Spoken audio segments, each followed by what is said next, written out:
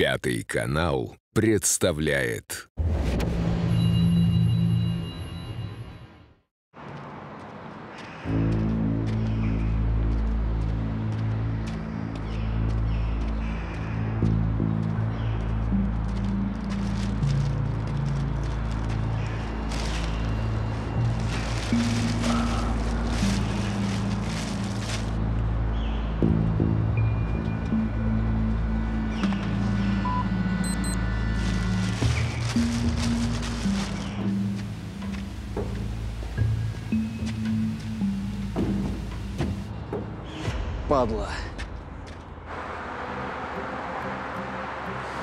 Погоняла этого недотепа Шаба. Натянул на себя капюшон, чтобы не засветиться на камерах наблюдения. Не учел, что камеры на каждом углу, на каждом доме. Так это он подорвал бизнесмена? Но, скорее всего, его использовали для закладки бомбы. Посмотрите на эту морду. Явно понял, что засветился по самое не хочу. Ну вот, потому и собрал манатки и свалил из дома. Но опера выяснили, он сейчас находится у своей любовницы, Богданы. Ланцет, контроль.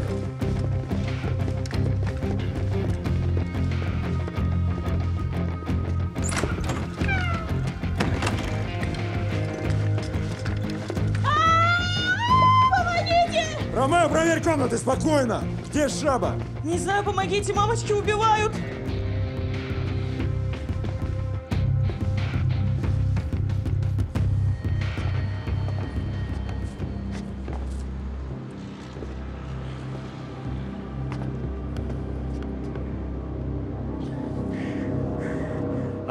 Это Шаба.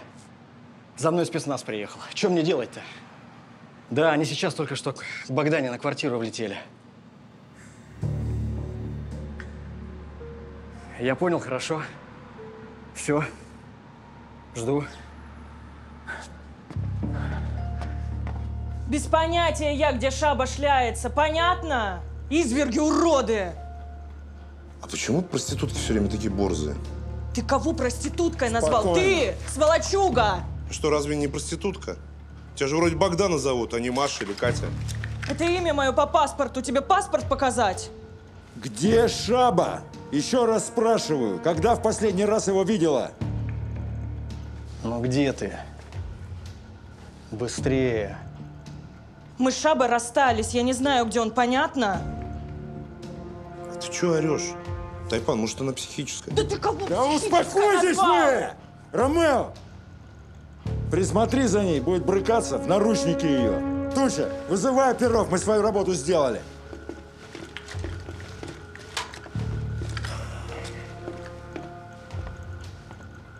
Зачем тут столько ключей?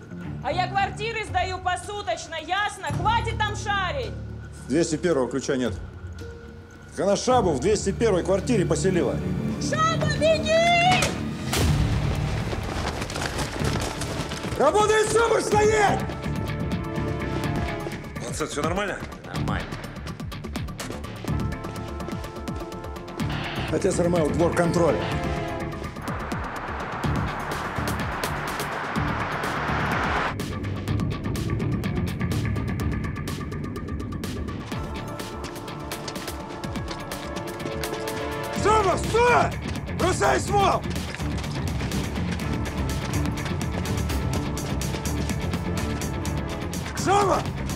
Глупи! Дернешься, завалю! Ствол клади на землю медленно! Медленно! Ствол на землю, давай!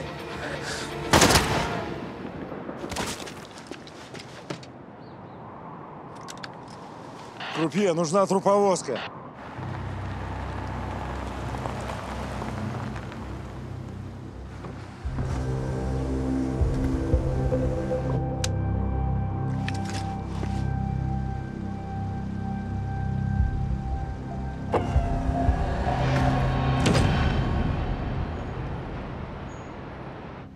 Почему Шаба подложил бомбу под машину бизнесмена? Я не знаю, о чем вы. У Шабы не было конфликта с Лизуновым. Значит, ему кто-то приказал это сделать. Кто? Для особо трудных повторяю. Я ничего не буду говорить. Ты бы тон сменила? Тебе светит укрывательство преступника. А будешь хамить, Пойдешь еще как соучастница покушения на жизнь сотрудника. Никуда я не пойду. Я знаю свои права. Мне надо позвонить, понятно? Я имею право на телефонный звонок. Привет. Как там мама? Да, передавай привет. Папа вон кричит, что от него тоже. Да, кричу, аж охрип. Да ничего не делаю. В игру играю. Варя, ты кого-нибудь ждешь? А ну, помоги, продолжи. Да.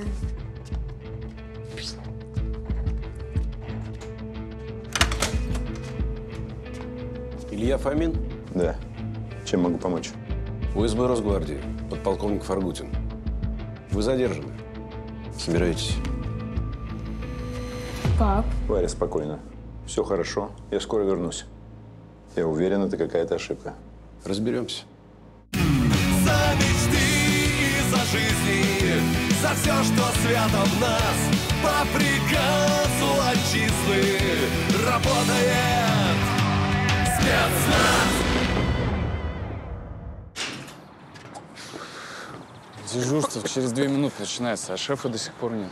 Странно, он же никогда не опаздывает. Я наберу его. Может, это Гарик опять что-нибудь учудил? Но вы же знаете, его лучше прибить, чем прокормить. Ну да, забавно, что именно ты это говоришь. В смысле?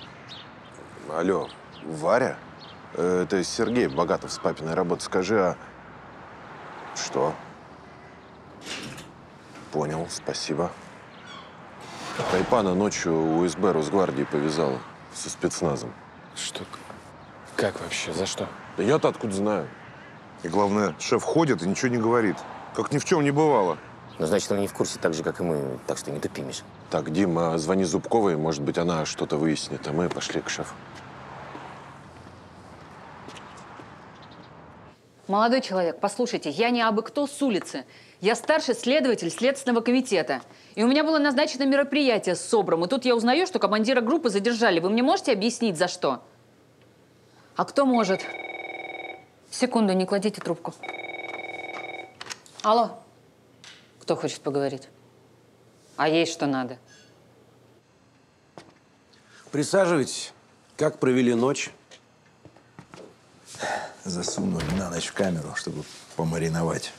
Ну, помариновали. Что дальше? Вот смотрел ваше личное дело. Выдающаяся биография. Могу дать автограф. Как я понимаю, с вашей женой у вас были добрые отношения, раз она оставила вам детей. Это преступление? Преступление убивать мужчину вашей бывшей жены. Вы про Коновалова? Этого человека полгода искали все силовики Питера и страны. Он находился в федеральном розыске. Интересная картина получается. Стоит вашей бывшей жене поссориться со своим мужем, как он вдруг становится опаснейшим преступником. Знаете, как это называется? Подстава. А знаете, как это все называется? Бред. Ну почему же? Неужели? Жена ссорится со своим мужем, хочет с ним развестись. И чтобы получить всю собственность, а не половину, обращается к бывшему мужу, Собровцу. И тот делает так, что мужчина становится опаснейшим бандитом. Может быть, уже перейдем к делу. Вы же меня сюда не из-за Коновалова притащили. Это же так, все для затравки. Прощупать почву. Не так ли? И зачем вы хотели меня видеть, если только вчера отказывались разговаривать? Ну, я переночевала в камере, и вдруг глаза открылись. Я решила выложить все как на духу. Похвально. Хорошо, я вас слушаю. Значит так. Шаба позавчера прибежал, весь бледный, попросил его спрятать, сказал, что его хотят убить. Кто? Какой-то Собровец. Имя он не назвал, но сказал, Богдана, дорогая, знаешь, что если придут спецназовцы, то это за мной, они хотят меня убить. Вы сдурели? Вы записываете, и оружия у Шабы не было, я бы знала, так что тот пистолет вчера те оборотни ему подсунули. Бедный Шаб. За что его так? Так, ну все, хватит, прекратите этот балаган. Кто вас надоумил? Тот, кому вы вчера порывались позвонить? Это он приказал вам нести весь этот бред? Бред? То есть вы мои показания отказываетесь принимать или что? Произвол! Я требую справедливости! Вчера вы открыли огонь на поражение, в результате чего был убит гражданин Никонцев, он же Шаба. При каких обстоятельствах он был убит? Вот. Теперь мы перешли к делу. Значит, из-за него. Отвечайте на вопрос. Никонцев был ликвидирован, потому что направил оружие на бойца СОБР, находящегося при исполнении.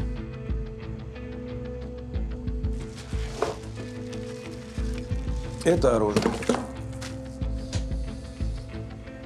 Там был Макаров, но я не могу поручиться, что это именно тот пистолет. Этот пистолет был обнаружен на месте преступления. А теперь самое интересное.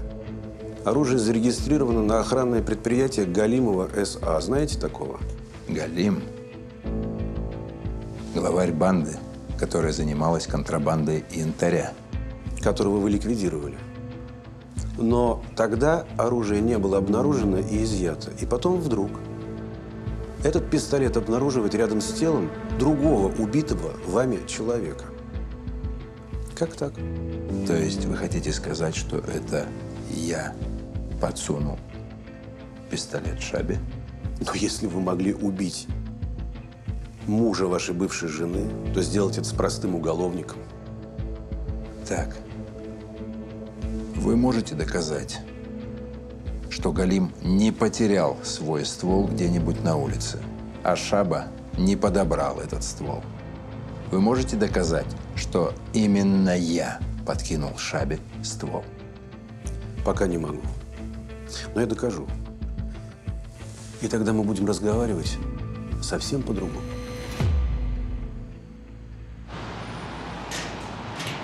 Илья, Наташа, ты что здесь делаешь?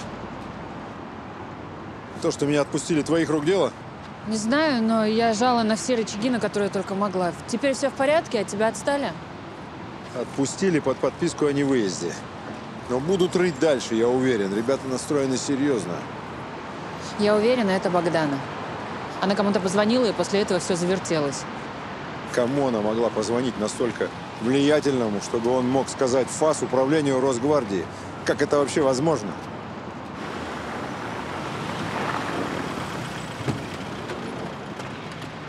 Тайпан? Парни, я надеюсь, вы не штурмовать приехали управление собственной безопасности? Ну, вообще-то была такая мысль. Тайпан, что происходит? Да я голодный со вчерашнего дня. Вчера даже не поужинал. Так что голодный, как зверь. Наконец-то мы на одной волне. Не хотел вам говорить, но у Алиночки в морозилке есть личный ящик для меня. Там так и написано «Миша». На месте Агеева я бы начал нервничать. Ну, что узнали? Расспросили бойцов, которые с этим УСБшником сталкивались. Дело плохо, командир. Ну, во-первых, все как один говорят, что Фаргутин неподкупный. Мужик кремень. А во-вторых, еще и справедливо. И без повода охоты не начинают. Но если начинают, то доводят ее до конца. Но Илья не давал повода. У Шабы не могло быть ствола Галима. Они слишком разные. Шаба – мелкая сошка, Галим – крупный игрок. Это исключено. Ну, Получается, ствол кто-то подкинул. Подменил ствол Шабы на ствол Галима. И кто это мог быть? Если доступ сейчас есть только у УСБ, а вы сами говорите, что Фаргутин честный и неподкупный. Значит, голова треснет. Но если ствол подкинули, то прямо Фаргутин. Это единственный вариант. А может, и не единственный.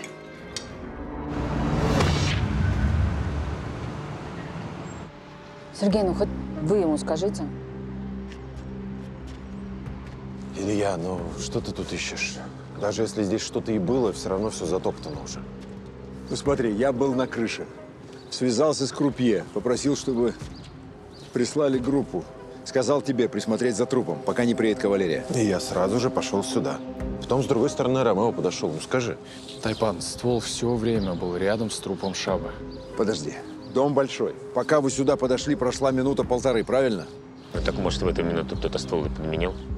Ланцет, ну что за бред? В квартире у Богдана мы сколько были? Минут 20-25. А что, если за это время Шаба с кем-то связался? Этот кто-то приехал сюда, увидел, как Шаба упал с крыши, подбежал к нему, и подменил ствол. Тайпан красава. Все так и было. Тучи, ну я то же самое сказал. Мальчики, не хочу разрушать вашу идиллию, но есть одна проблема. У Шабы не было никакого телефона. А что, если он его спрятал в квартире? На кухне чисто. В спальне тоже. Да неужели я ошибся? Тогда я вообще не понимаю, что происходит. Сочные такие. Интересно, откуда он эти яблоки взял? Будет кто-нибудь?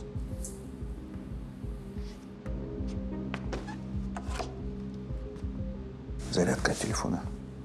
У него был телефон. И если его нет в карманах Шабы, и если его нет в квартире, значит, его кто-то взял. Вы понимаете, это не бред. Значит, во дворе был кто-то третий, кто забрал телефон и подменил пистолет. Он приехал сюда со стволом, чтобы помочь Шабе. Возможно, он хотел передать Шабе этот ствол, чтобы при задержании на руках у Шабы было именно это оружие. А потом бы выяснилось, что ствол принадлежит другому бандиту, тоже убитому СОБР. А потом на допросах Шаба бы клялся, что ствол ему подкинули при задержании. Фактически это была попытка заранее отмазать Шабу. Нашли чего-нибудь? А, яблоки нашли. Сочные. Будешь? То есть задачей было не подставить Грефа, а просто попытаться отмазать Шабу? И чтобы у Шабы был стимул не сдавать заказчика. Значит, этот третий и есть заказчик. Ну или один из его людей. Но все равно не сходится. Откуда у этого третьего ствол Галима? Мы всю банду Галима ликвидировали. Главное, что мы знаем, у Шабы был телефон, который исчез. Вот теперь нужно вычислить этот номер. Ну, это не сложно. Просто поднимаем все звонки, которые были произведены в этом районе в течение операции, и один из них наш. Потапов сможет помочь? Простите. Да, Зубкова, слушаю. Да, понимаю. Конечно, я подъеду. Подполковник Фаргутин вызывает на разговор.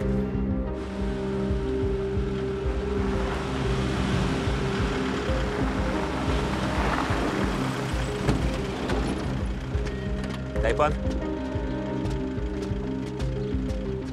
Сто процентов УСБшники. Значит, санкцию на наружку уже получили. Дело дрянь. Короче, за подменой этого ствола стоят заказчики того взрыва. Что нам известно о бизнесмене, которого взорвали? Сейчас, в сводке тут было. Так, вот. Геннадий Павлович Лизунов, владелец фирмы «Фактура Спас». Что это за фирма? Сейчас, секунду, я как раз видел новость про это. А, вот. Пишут, что Лизунов продал фирму буквально за день до гибели. По словам родственников, последние недели он находился в депрессии, потому что эта фирма была делом всей его жизни. Странные люди. А нафига тогда продавать? Миша, а ведь это очень хороший вопрос. Зачем продавать фирму? Может быть, его заставили? Что-то типа рейдерского захвата? А почему нет? Угрозами склонили к продаже фирмы. Он все подписал, а потом решил подать заявление. А рейдеры как-то это прочухали и решили его убрать. А что? Чем не мотив? Ланцет, а есть какая-то информация в статье, кому продали эту фирму? Нет, здесь ничего нету. Но подобная информация хранится в реестре. Дим, дай-ка.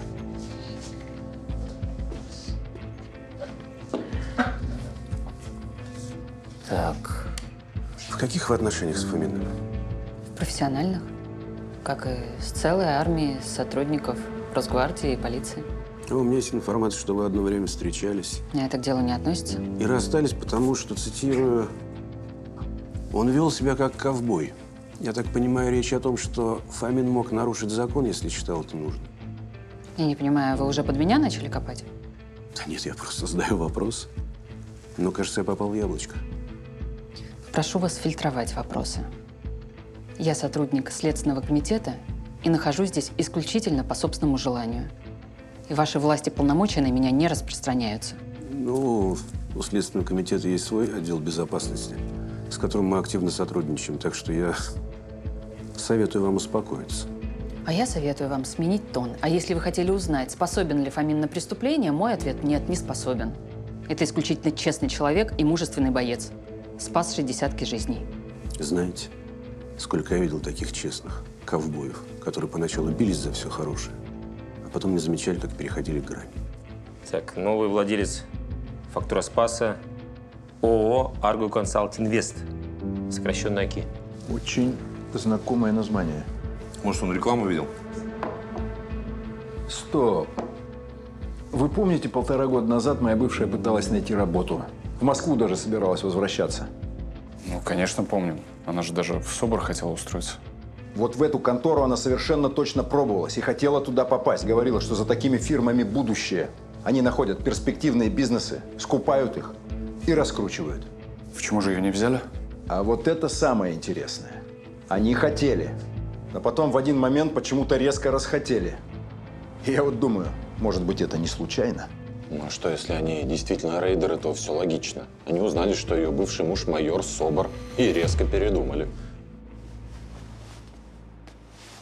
Фомин был сегодня на месте преступления?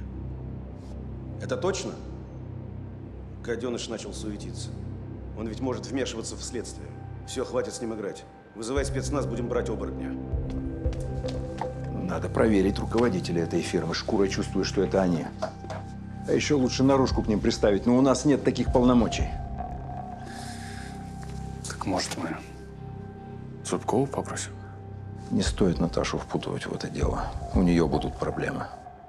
Да и вам, парни, нужно сейчас держаться нейтрально. Подальше от меня. Меньше сложностей будет.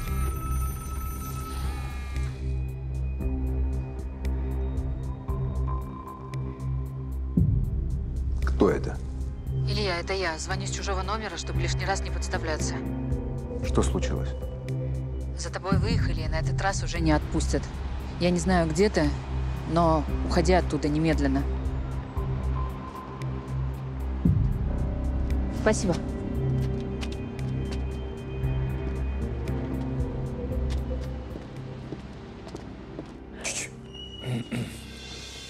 Фаргутин, УСБ Росгвардии. Всем оставаться на местах. Ой, как жаль, так попрыгать захотелось. Где Фомин? Сейчас, извините, буквально секундочку. Валет козырной. Взял?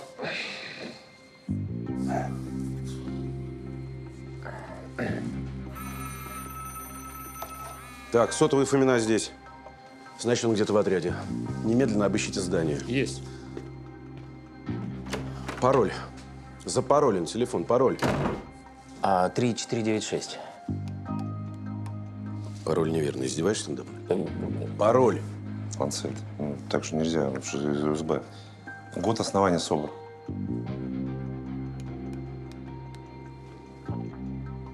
Черт.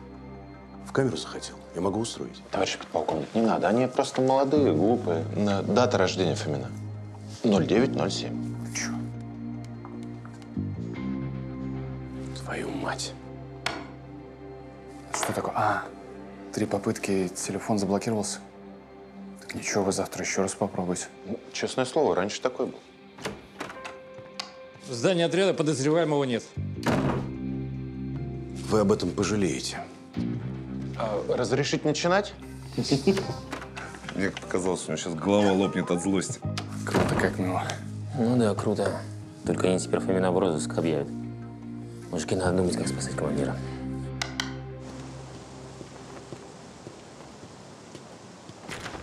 Ну что, Наташка, насколько все серьезно? Серьезнее не бывает. Я тебя специально здесь ждал. В здание не будем заходить. Я думаю, там прослушка. В общем, я кое-что нашел. Что именно? Я проверил все звонки в районе, где СОБР проводил операцию. В общем, меня заинтересовал один звонок на спутниковый телефон. Он очень подозрительный. Имя владельца. Телефон зарегистрирован на пенсионера из Ставрополья. А, ну понятно. По чужому паспорту купили. Я копнул глубже, провел поиск номеров в мессенджерах. Думаю, ну чем черт не шутит. Ну, так и. Этот номер зарегистрирован сразу в нескольких мессенджерах. И ник везде один и тот же. Мефистофель 84? Но я думаю, он себя ассоциирует с Мефистофелем, то есть, ну, по сути, с дьяволом, и гордится этим. А 84 — это... Вы от рождения.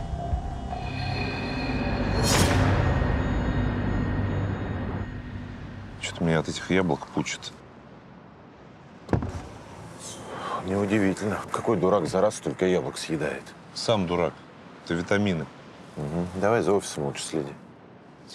Слушай, вот ты мне объясни, о чем мы здесь забыли? Ну, офис, ну, люди. Кого мы ищем? У тебя есть другие варианты? Да.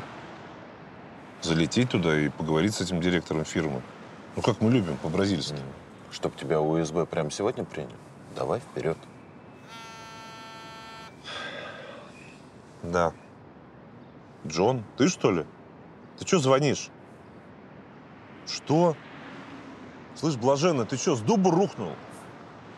Я у тебя вообще ничего никогда не занимал. Иди ты знаешь куда. Ты прикинь? Этот червяк мне звонит и знаешь, что заявляет? Помнишь, мы в прошлом году у него засаду устраивали? Да, это когда-то у него весь запас стейков стрескал. Вот. Он вдруг резко о них вспомнил и просит меня за эти стейки деньги вернуть. Ну не гад, а? Миш, смотри. Ну, мужик, и чё? Уж очень у него рожа знакомая. Я готов поклясться, что где-то его видел.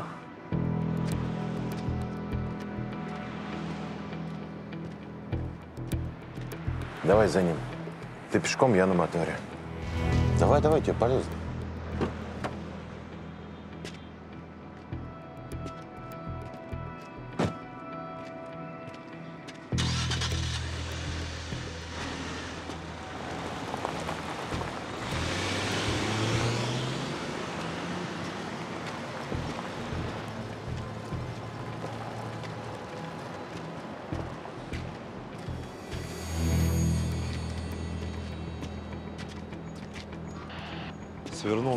Проулок. Отец, давай вокруг.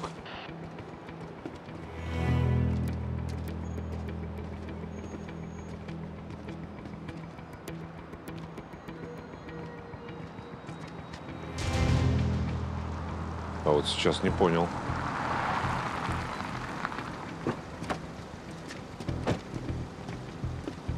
Где он? Не знаю. Ты его прозевал. То есть ты упустил, а виноват я? А что ты стрелки переводишь? Но он же не призрак, чтобы испариться. Призрак. Точно, Миш, я вспомнил, откуда я его знаю. Нам э, срочно надо к Тайпану. Умный, да? Тайпан сбежал. Он мне не доложился, куда побежал. Где мы его искать будем? Поехали.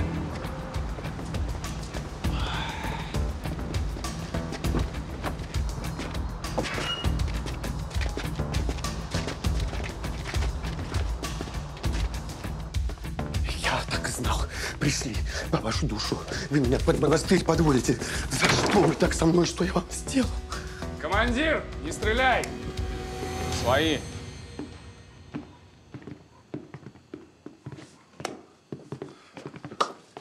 Мы с отцом сразу раскусили, что Джон не просто так звонил. Ага, особенно ты. Как я рад вас всех видеть, кроме тебя. От Вари привет. Отвез ее к Алине. Там будет безопасно. Спасибо, Юр. Как она? Переживает за тебя как. Спасибо.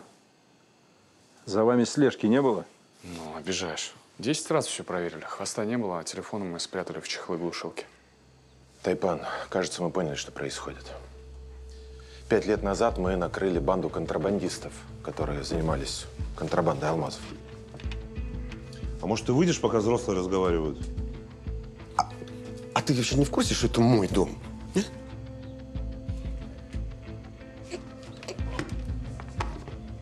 Спасибо за стул.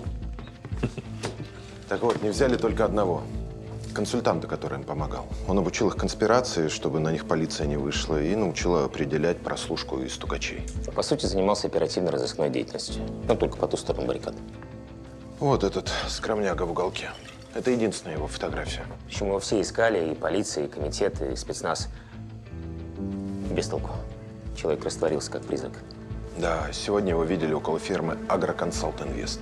А вот это плохо. Если он заметил хвост, он туда больше не придет. А у нас на него ничего нет, кроме этой фотографии. Это аудитор. Ты его знаешь? Ну, лично нет, но много о нем слышал. Пять лет назад ту банду не без моей помощи приняли. Но я не хочу мешать взрослым людям разговаривать. Джон, извини, что накричал. Я больше так не буду. Доволен? Давай рассказывай уже.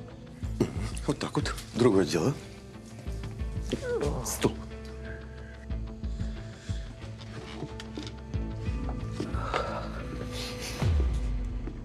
Аудитора мало кто знает лично, но о нем все слышали. Он легенда. Вы вообще знаете, э, кто такие аудиторы, нет?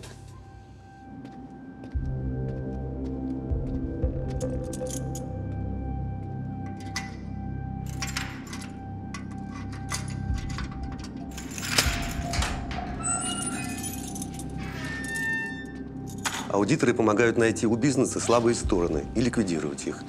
Этот аудитор занимается тем же самым, но не для честных бизнесменов, а для бандитов. Если угрожают менты, проблемы с конкурентами или с поставщиками наркоты или оружия, аудитор все вопросы решает. Оптимизирует бизнес, сокращает утечки, повышает доходность. Вы понимаете, какого уровня это специалист? А ведь это кое-что объясняет. Галим много лет занимался контрабандой янтаря. И очень гордился тем, что ни разу не попался. А почему? Потому что он сотрудничал с аудитором. Точно. Вот откуда у него ствол Галима. А сейчас он сотрудничает с этими рейдерами, которые бизнес отжимают. Ну ладно, хорошо. Ну, допустим, аудитор за всем стоит. Но нам-то что с этого? Мы ведь не знаем, как на него выйти. А может, не надо его искать? Может быть, надо сделать так, чтобы он сам пришел? А как? Чем занимается аудитор? Он устраняет любые недостатки и бреши в криминальном бизнесе. Так? Да, так. В схеме аудитора с Шабой тоже есть один недостаток, одно слабое место. Это Богдана. Как профессионал он знает, что лучший свидетель – это мертвый свидетель.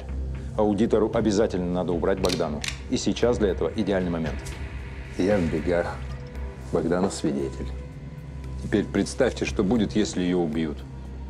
Это закопает меня окончательно. Подожди, Богдан же в изоляторе. Так давай это исправим. Джон, нужны чистые телефоны с незасвеченными симками. Можешь найти пару? Обижаешь. Джон, в отличие от некоторых, не зря ест свой хлеб.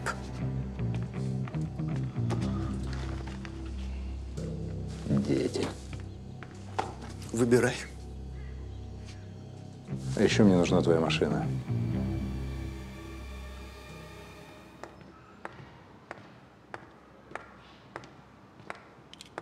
Вы свободны. Можете идти. Даже так? Теперь я резко не виноватая стала? Пошла вон отсюда, пока я не передумала. Передумала? А то я не знаю, зачем ты это делаешь. Собственную шкуру спасаешь. Все вы менты одинаковые.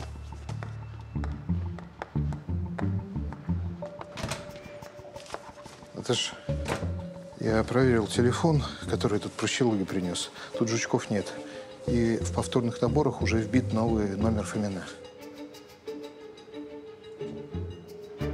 Илья, все готово. Надеюсь, ты знаешь, что делаешь.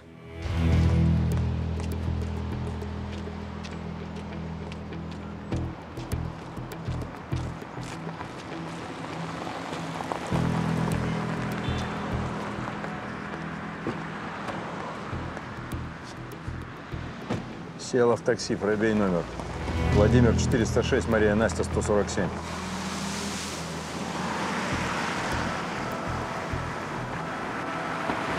Парни, подключайтесь.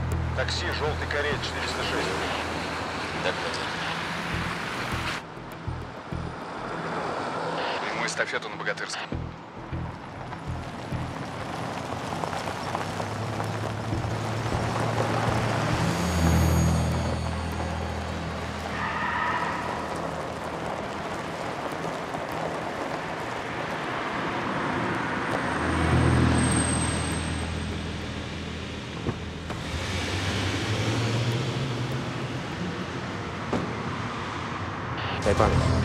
Подземном паркинге, угол Белоозерный. Ланцет, я рядом.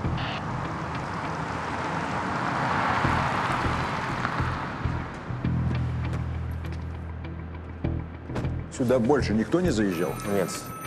Может, Богдана здесь с аудитором встречается? Да, Наташа, говори. Проверила номер, с машиной все в порядке. Желтый немец зарегистрирован как такси. Но это не немец. Короче, он угнал эту тачку и поставил номера с другой машины. Это точно аудитор. Наташа на связи. Ланцет, работаем.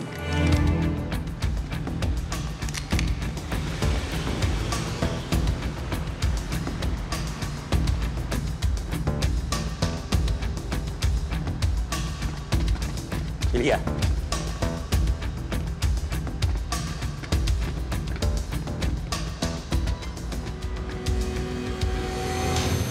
Звони Наташе. Он должен быть где-то здесь.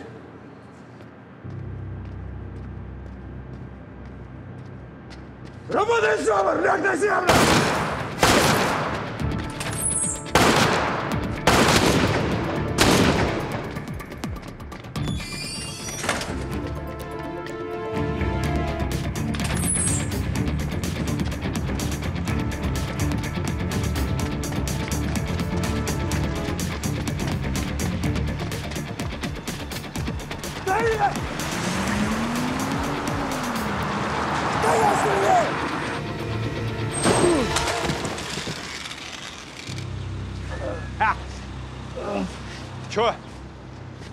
Думал, самый умный майор?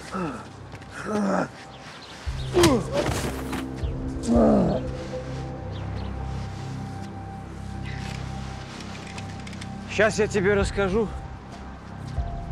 как все будет выглядеть. Ты подговорил следачку отпустить бабу, которая знала о твоих махинациях. О том, что ты убил Шабу и подбросил ему ствол. А когда ты убегал, случайный водитель сбил тебя. И поняв, что тебе конец, ты решил поступить как настоящий офицер. Да? Поднимай его.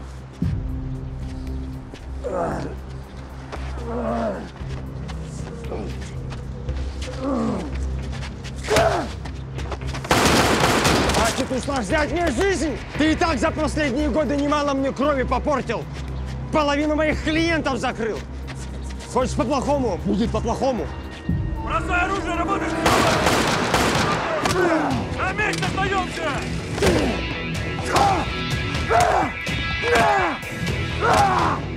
Хватит фамилию гуманисту, добьешь его смерти! Вперед, вперед, вперед! Шел от него! Это он! Он вам нужен, а не я! Отпустите его, я знаю. Что ты знаешь? Знал заранее, что ли, с самого начала? Не сначала. Когда ты бежал, я понял, что ты будешь действовать. Когда прошла инфа, что отпустили Богдану, я понял, как ты будешь действовать. За Богданой слежки не было, я бы заметил. Мы пошли иным путем. Мы подключились к ее телефону, чтобы слушать и следить одновременно. У нас есть аудиозапись, как этот тупырь убивал ее. Она умоляла о пощаде, потому что они с Шабой сделали все, как он хотел. Что теперь? Что дальше будет? А теперь, я думаю, тебе надо к врачу обратиться. Вдруг перелом.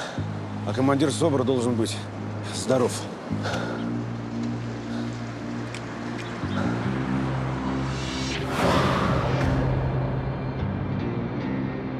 Пап, Отметить быстрее! работу нашего отряда «Трефы». Под руководством своего командира они блестяще справились с задачей. Ну вот, взял и попустился. Ну, извини, не успел. Там ваш командир сейчас про тебя рассказывал. Какую вы крутую совместную операцию привели. По предварительным данным, на счету А, так подожди, они еще не закончили. правонарушений Ну. различной степени тяжести. Руководство Агроконсалт Инвест подозревается в рейдерских захватах и убийствах. Сейчас силовики изымают всю документацию фирмы. Наш источник в полиции сообщил, что это только начало масштабной спецоперации. Да, Туча? Да иду я, иду. Ну, начинайте без меня. Хорошо, до встречи. Ты куда ты идешь? Опять? Парни позвали отметить. Не могу же я им отказать. Много не пей. Хорошо, мой командир. Я не поняла, ну что опять?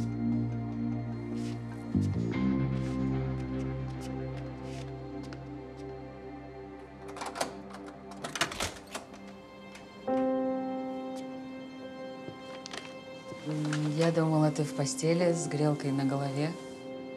Слухи о моем состоянии сильно преувеличены. Так, пара трещин. Ну вот, а я тебе тут гостинцы принесла.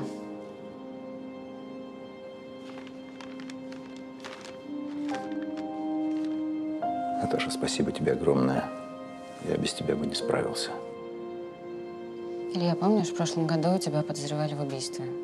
И все указывало на тебя, и я грешным делом сама в это поверила и до сих пор себя виню. Не стоит. Ну, еще как стоит. Ты оказался невиновен, я оказалась дурой. Больше такого не повторится. Илья, я всегда буду на твоей стороне. Что бы ни случилось.